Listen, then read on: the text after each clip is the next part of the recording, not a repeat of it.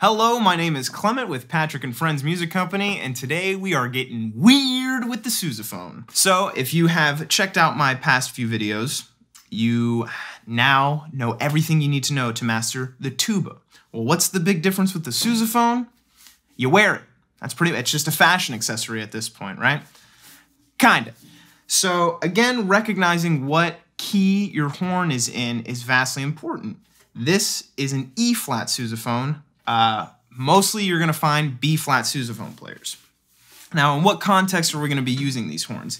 Again, this being an E flat is typically used for maybe a smaller jazz group, uh, not usually brass bands, but it can be used in brass bands. Typically, you want to use a B flat for a brass band because it's big and beefy and it's just got deeper sounds. Again, me myself, I am an E flat player and I'm much more comfortable in that range. You can do a thing called multiphonics where we get multiple notes out while we're playing. For example, just a note by itself. Well, if I want to introduce multiphonics into the mix, I have to now sing a pitch through my throat while my lips are still buzzing. So if I find that pitch again, and I buzz, free buzzing, I need to find kind of the separation. Since that's just the air blowing out and making the lips move, I can still kind of control my vocal cords while that's going on.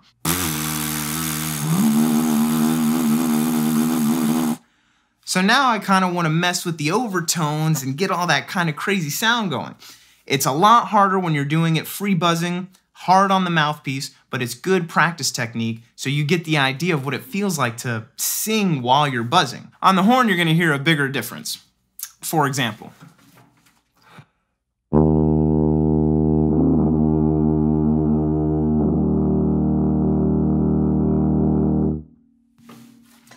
So, to practice that, you really want to stay diatonic. Part three, you get a little even more weird is we're talking about beatboxing. Now, I don't call this regular, you know, average beatboxing because there are beatboxers in the world and they're phenomenal. But, right, if we're making percussive sounds with our mouth, that's really what we're looking for. A simple right? Just a little hi-hat and a bass. When we put that in the instrument, it's going to sound a lot different.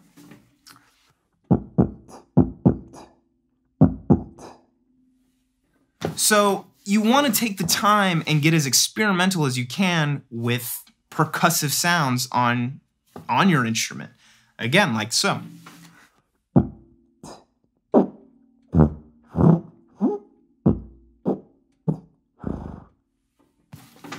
Weird, kind of crazy sounds, uh, you know, very unorganic. It's very strange. But the more you get comfortable doing that, the less strange it's going to be. So now before I try to add anything to a bass line, I want to try to beatbox and kind of have that throat singing going on. Throat singing while you're buzzing on a mouthpiece, on your instrument.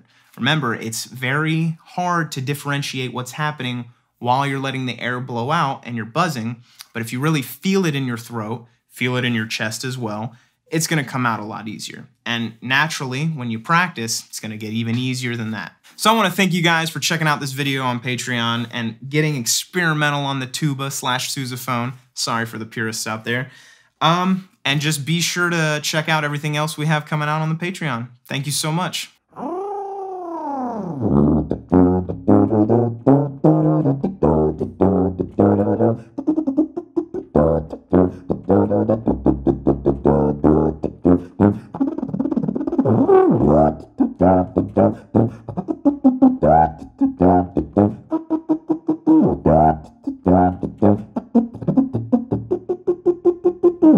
Patrick and Friends Music Company.